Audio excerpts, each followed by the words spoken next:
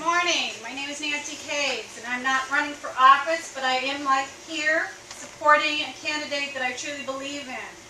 And that candidate is Herman Cain for president 2012. I'm from Lemont, Illinois. I'm an educator. I've been in education for 22 years. I have been an uh, adjunct professor at National Louis University and a personal trainer. I believe, like Herman Cain, in limited government. I believe in control, local control.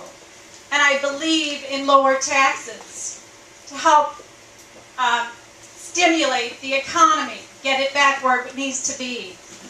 One thing that Herman says is we have the energy to do what we can if the government would get out of the way. Can, so just do it.